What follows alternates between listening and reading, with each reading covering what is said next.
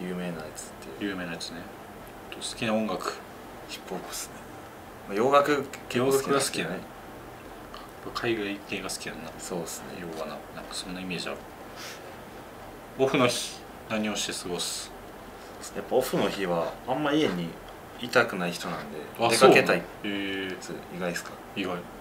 一緒に、まあでもあれか。ひろきとよく。ああそうですね。まあ松崎とも、まあよく行くっすけどオフの日はあんま普通松崎練習終わりとかにって感じですね。ああなるオほど。フの日は普通の何もやってない友達に会って みたいな。ああ大学のとか。そうなんでもなく。そんまあその友達の紹介友達の紹介って言い方あれか。元気さん元気さんやったじゃないです。かの紹介で。えー、紹介っていうかまあと飯行った時についてきた子がおってそれは自分のためで。み結構波長あってみたいな。ああなるほどね。仲良くなってそうそうそう。って感じですね。そういうのないな俺なないっすね。ない。武田さん結構家好きっすか？なずっと家におあ家派か。うん。インドアか。インドア。インドアです。ずっと家にいる。あその俺一時インドアめっちゃインドアでしたけどね自分も。その全くし言ったら全く知らん人やん、はい。その人。その出会いがまずないからさ。ああまあ。合わんよ。やっぱ外出なあかんな。まあそうそう。光合成した方がいいです。確かに光合成ビタミン D 確かにな。セラトニン出して。セラトニン出した方がいいな。最近感動したこと。映画見てボロ泣きした。あこういうねさっき言ってたやつや。七番坊の奇跡。韓国の映画なんですけど。ええ。マジで見た方がいい。絶対泣くから。そのその熱をちょっと皆さんに見た人もいるかもしれんけど。あれ見てあれこれをこの映画をみんなに勧めて泣かんかった人おらんっすね。えー。一、人にしか勧めてないですけど。誰誰に勧めあの友達が友達に。ボロ泣きして電話かかってきて「めっちゃ泣いて。やんな」っつって。あのどんなえっと話、ねあのおお父さんと娘の2人ので住んでる話で,、うん。でお父さんはちょっと身体障害を持っててでまあなんかその子供を全く違う知らん子供が困ってたみたいな感じで助けたらなんかこう滑ってもう不運で滑って亡くなっちゃってみたいな。でで勘違いで冤罪食らってでそう七番坊ってあの独房とかのやつね、あそう。でそっからこう出会っその囚人同士で出会ってってみたいなこうで娘ままあ見て。見て。もう見ていくから。見てやな私もしような見てください皆さん。ヒューマン系ですね。そう。次。無人島へ持ち込めるアイテムは3つだけ。携帯水モバジュむずいこんな10秒で答えられへん。携帯。携帯忘れてもら絶対いるやん。携帯ね。現代っ子やし俺。うん。水もやっぱほらね水いるよね。水はまあまあまあな。でも作れるかもしれん。あろ過して。ろ過して。まあ現代っ子なんで現代界からな。確かにな。でモバジュモバジュやっぱほらいりますよね。一番一番強いやつ。一番そう。もうこのパンパンなやつ。パンパンのやつね。そういうの3つを持っていくと。次新しい力を一つだけ 身につけられるどんな力？なんて人の心を読む力。あいいいいよ人の心を読む力。これあればもう、ね、確かにな、やっぱ人間関係って一番難しい難しいじゃないですか、なんで。大丈夫。特にいいことここはは特にね広げるとこなかった次ねビーコルの中で一日だけ違う人になれるなら誰？じゃあれさん。いじゃあなんでなん？やなんかなんなんやろ。やっぱり日本人でもなくアメリカ人でもなくモンテネグロうん。のどういうかんなんかほらね。ああ感覚みたいな。感覚みたいな。でかいし。うん。なんか確かにな。何？そう。何をめっちゃいいけどいい人なのいい人じゃないですか、何を考えてんねやろうな、けどそう。確かに。し普段は結構いかつい感じっていうか、なんか例えば自分と松崎がしょうもないことやってたらバリ遠目でめっちゃニヤついてるんですよ。み わかる。わかるわかるわかるわかる。お父さんの微笑みみたいなわ感じでかるわかるわかる。バリニヤついててそういうとこもあるじゃないですか。最近あのひろきのさフリースローみんなに邪魔されてるやん。あれもめっちゃ笑いながら見てんのよ。そうあの笑顔ね。確かにな。あの笑顔いいんよマジちょっとおじいちゃん感出てきてるよ。出てるっすね。渋み出てるな 最近ちょっとおじいちゃん感出てる。確かにな。ジャレさん何考えてんねやろうなと思う時あるもんね、なんでジャレさんですね。なるほど。私実はまるなんです。恥ずかしがりほなんかみんなめっちゃクールなんかクール感出てるみたいな、ん。言言うんすけど、うん。その辺についてどう思いますか？ういや俺恥ずかしがり屋の人はあんなことできひんと思うんで。そうなんですよ。違うんですよ。なんかねなんやろうなもうほんもともとは恥ずかしがりなんですよ。そもそもがね、でやってって言われたらもう頑張って勇気振り絞ってやってるみたいな。うん、うんって感じです。ほんまは恥ずかしがりなんですよ。でもみんながこうやってってやって言うから、そうやるしかないなっていうな。あれはじゃあ一応全部恥ずかしがりながらもやってるってこと、はい。だからそう。オポチュニティも？そう。あそうなん？スイッチ入った時はあの全恥ずかしくなくなるんですけど、うん。基本恥ずかしいんですよ。ああなるほどね。すいません。ちょっとゾーンみたいになんねや。あの瞬間は。やる瞬間はこうバッてやってそう。その後ちょっと恥ずかしい。そう。めっちゃ恥ずかしい。なんであんなんやったんやろうなみたいな。後から後悔する。あだから後悔。はい。なんであんなんやったんやろうなと思う。まあじゃああれをやってる時ははい。もう一人の用がいるっていう感じやなじゃそう。ですたまにねそその出るのはたまに。ですあたまに？普段やってる時は普通に恥ずかしながらやってるから。ああこいつ恥ずかしがってんねやっていう感じでちょっと見といてくだかわいそうに見えてくる。そうなんですよ、まあ、その同情が一番きつい。あれ無理してんねんなって思われるんですそう。いいから。もう笑ってもらえへんで。苦笑いな一番きついわ、はい、無理してるわやばい。じゃあまあ皆さんちょっと温かい目で見てあげてください。しはい最後。将来やってみたいことは？営業。うん営業の仕事。なんか。そうやな。んで営業なの？な、まあ、まず将来やってみたいってなったらまあ絶対バスケ以外のことだなと思うんで、んで結構周りのの友達とか結構営業マン多くて、うん。でやっぱトーク力っているじゃないですか。うん。で今の自分のトーク力がどれだけ営業通用するか。卒業するかっていうのは正直ちょっと気になるなってとこあるですね。なるほど。営業ね。営業か。無理そうっすか 伝わってきたっすけど。いやでも体育会系の人強いっていうよね。あ営業って。あ多いですね。なんかよく言うよね。体力勝負なとこあるからな。まあ確かにね一日中外回り。そうです。あるも。ん本郷さんちなみに何か職業やる君さん何？なんやろ？全く考えたことないんやな。今考えてください。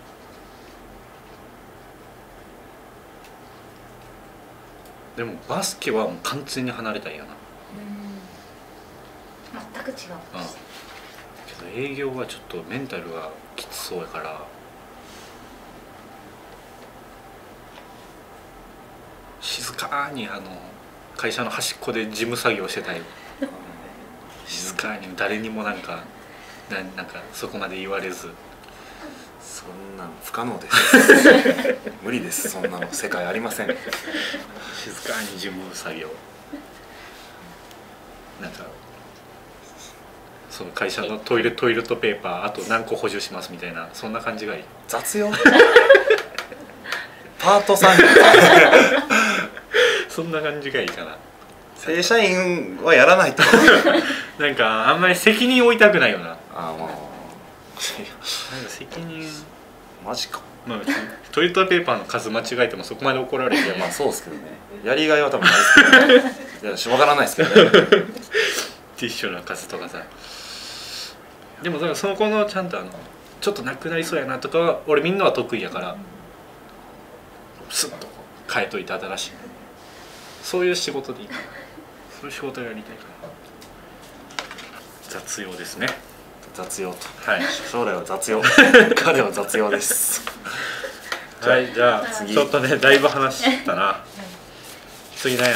チームメイトやスタッフからのタレコミ情報。はい。何何？全部拾わなくていいのでちょっとピックして。はいはい。逆に気になるのある？全部いいな。アルカリ性になろうとしてたとか。結構気になる。あったな。これ一番最初や。初期っすね。初期。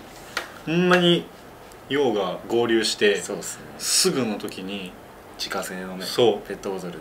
なんかアルカリ性になろう。体をの中をアルカリ性にしようとなんか自分で作った飲み物持ってきてて 調合して でその水を置いて帰るみたいな。あ置いて帰ってたね。置いて帰ってたよ。温泉水のやつも。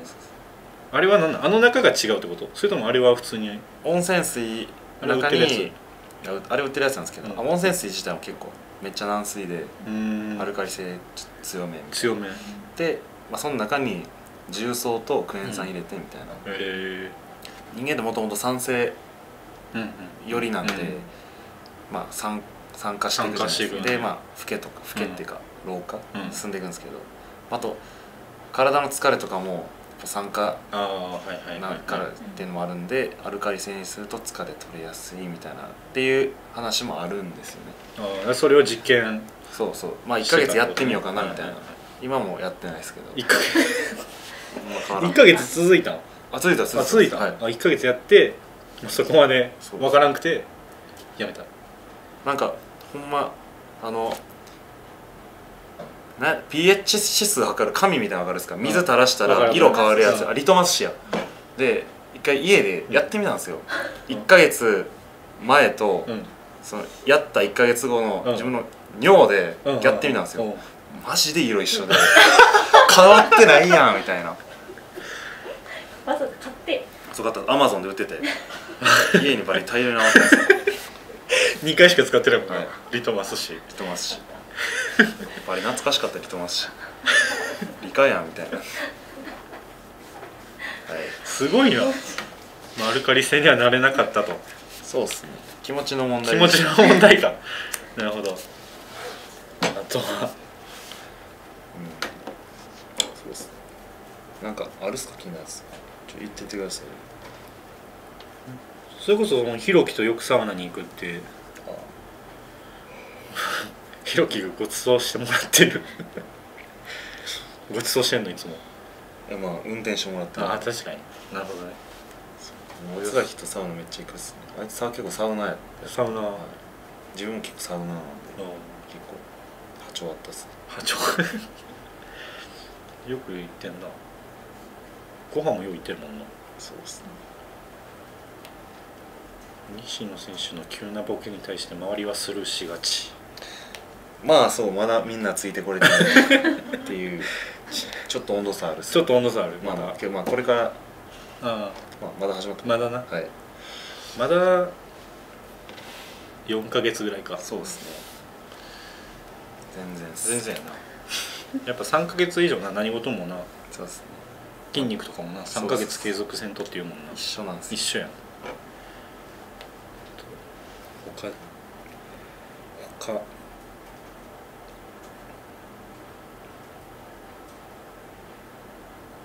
荷物？ああちっちゃい。ってああ荷物少ないな。確かに。むしろ何が入ってんの？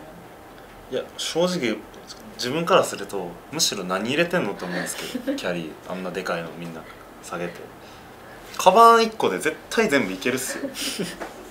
いやそのめっちゃ着替え入れてるとかやったら分かるけど、ユニフォームまあスパッツソックス場所バッシュバッシュは自分手持ちなんで。ああなるほそう。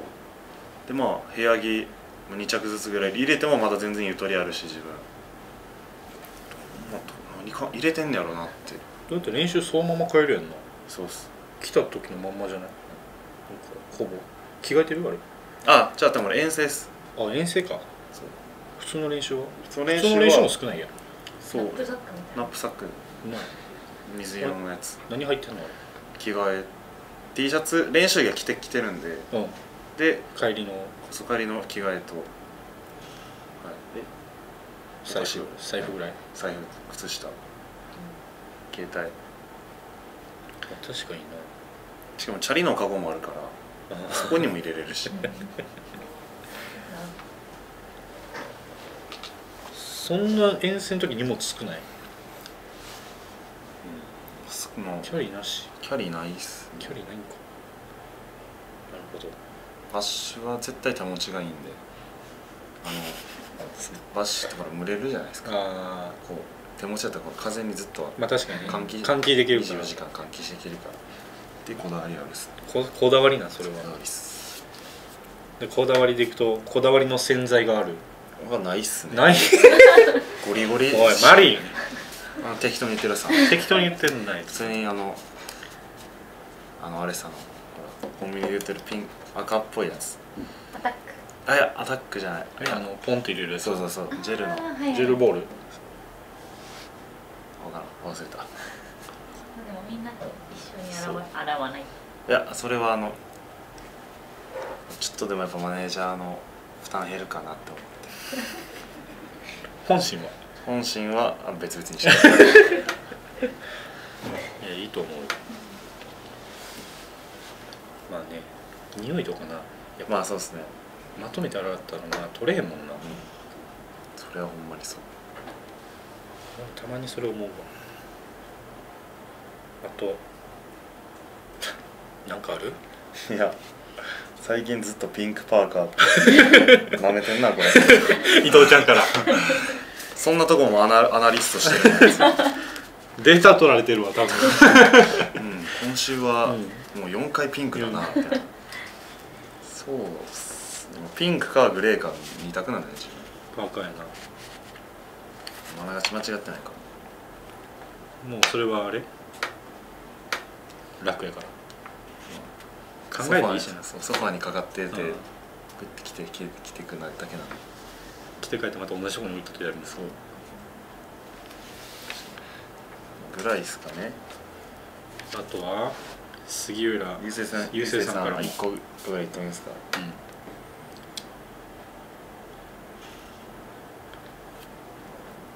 ん。なんかあるっすか？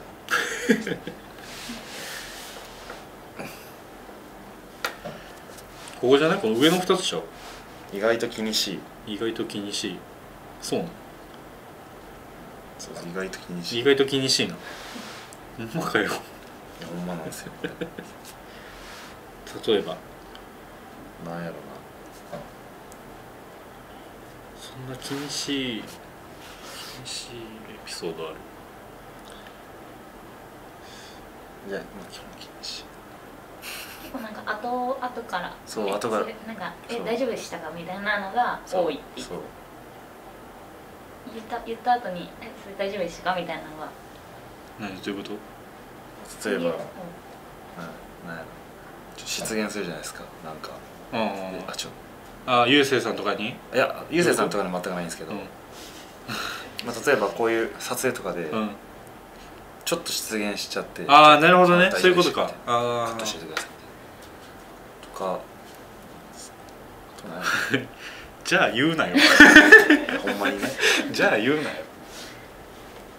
あそうなんや。あと面白いことをしてるキャラだが意外と真面これはけど褒めてんじゃないですかねこれ。褒めうん褒めてました褒めっすねこれ。代表活動の時に一緒だってああ。そその時意外と結構真面目に。そうなんか不真面目に見られるんですよね自分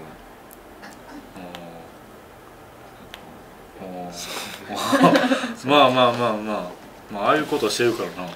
どういうことですか？え？あああ。そうそうそうそうそうそう。そう意外に真面目なんですよ。まああれもだから無理してやってたってことが今日分かったから。あれそうそうあれはそうっすね。まあ確かにな。意外に真面目なんですよ。意外に真面目で恥ずかしがり屋で。ただのお茶目。なお茶目なやつ。お茶目なやつ頭もいいんじゃないかって。いうあ過去はね勉昔はそう勉強めっちゃしてしめっちゃってか結構してたん。高校受験のためにめっちゃ勉強塾も行ってゴシゴシ勉強してた俺。マジ？すごいな。え勉強なんかしてる？推薦とかじゃなかったの？推薦あるんすけどあの一応勉強でもいける。あと両方後が強いっていうので、うんうん。っていう勉強、そうっす。ね今となっちゃうって話ですけど。俺もやったな高校前。だって洛南ってめっちゃ賢いじゃないですか。うん。めっちゃ賢いよ。だから胸張って洛南高校卒業ですって言えるよ。いやほんまにね。洛南ってなる肩書き。肩書き。そのどこのクラスに属してたかさえ言わなければ、あ あるんすねそういう。そうそうあるあるある。スポーツクラスがあんねんけど、はい。それさえ言わなければなああいう東大京大に行くような人たちと一緒の猛者の集まり。猛者のとこにいたから。もし勉強したけどさ分かるわけないやんそんな洛南の入試問題なんてそうっすねかたじけない、でも一応入試を受けるからさ。はい何も分からずに終わった。まあそんな感じか。そうっすね。結構いい感じっすね。うん。リトマス紙な。アルカリ性。アルカリトークよもよかったんじゃんこれアルカリ性は俺ほんま衝撃やったけど何言ってんのこいつと思ったもん。ガチなんですよあれ。ほんましかもちゃんとやってたんやな。そのリトマス紙でちゃんと。一応ちゃんと。エビデンスエビデンス取らないと。やってたんやな実験というかあの検査を。知らんかったこれいる ?1 分褒め合いたい。時間結構。1分じゃない24秒。いるっすか？どうしようかな。これないで。結構も結構い濃かったよこれ。うん。やっぱリトマス紙で十分じゃん。リトマス紙。話でいいと思うで今回。うじゃあクロージングしちゃうか。12月15日金曜日までエンゲートの B コルトップページにアーカイブとして残されていますので、えー見逃してしまった方やもう一度ご覧になりたい方はエンゲート B コルトップページからご覧ください。今回の配信の感想僕たちへの応援コメントやギフティングもお待ちしています。ぜひお願いします。バイバーイ。バイバーイ